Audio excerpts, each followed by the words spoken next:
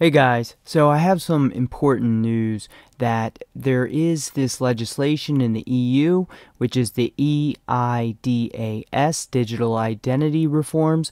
It also includes something rather concerning, where they want you to trust their certificates, and this is something that could turn into a possible man in the middle attack opportunity. I did cover malicious root certificate authority possibilities and how this abuse actually turned out to be in the news a couple times, including a BIOS level backdoor in Lenovo laptops and also a TrustCor, which is actually a certificate authority who happened to be involved with potential man in the middle activity and some contracts with some in the defense community. This is a good video to start with to understand the problem a bit, but let's see a bit more in this article from Computer Weekly and how it may affect users. And so, as it mentions here, all websites are authenticated by the root certificates, and that's controlled by the certificate authorities. So, when you come up here and you check out the security of a website, it shows the padlock. Sometimes it'll be a green padlock, depending on your browser. And you can see this one's protected, as they say, by Cloudflare. And there's a lot of controversy around that. In fact, because Cloudflare is the one that is handling these certificates, that also makes them allowed to do a man in the middle attack.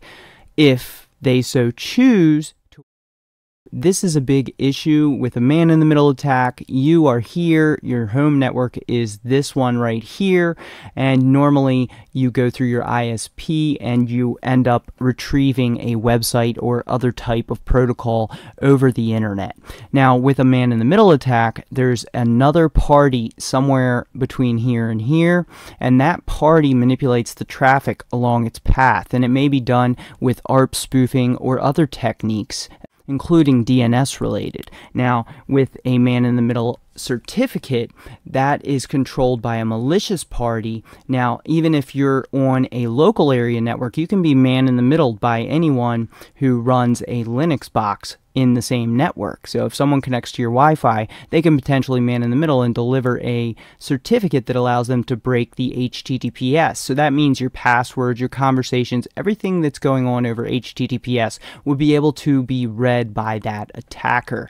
And so with this proposition in this law is going to add whoever they want as a new authority, a new certificate authority to the EU trusted list. So this will force browsers to come out for anyone who gets a browser in the EU will have to have this controlled by the EU government uh, approved certificates they'll have to accept. And so if someone did a man in the middle attack along the way, they could deliver a trusted certificate to break the HTTPS on your websites and it would still appear secure. EU is saying that this is to push back against big tech. So that is some of the lines that are being delivered to sell this law.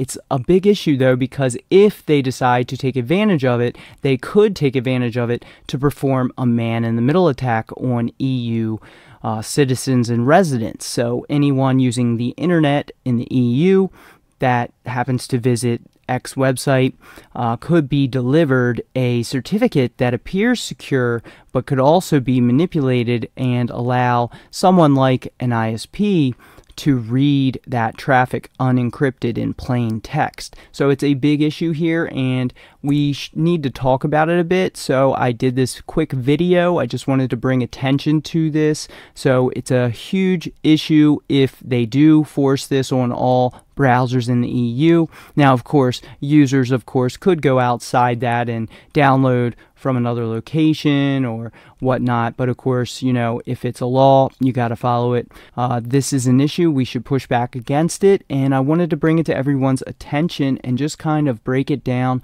in a really quick way. Make sure to follow. Go check out the blog. It's free to follow, and you can read there without registering. Uh, you can follow me there. You can also follow over at Fosstodon, which is a Mastodon. Uh, Mastodon's a decentralized, similar to Twitter. And you can also follow me over at Twitter at TV Privacy. Make sure to like the video, leave a comment if you have one. If you want to buy me a coffee, you always could over at the blog, but you obviously don't have to. Uh, the biggest help you can do is just simply sharing these videos and articles, helps bring those videos up higher in the rankings and shows them to be a more trustworthy source. So make sure to follow, guys, and share the video, and I'll be back later with more on how to protect your security and privacy.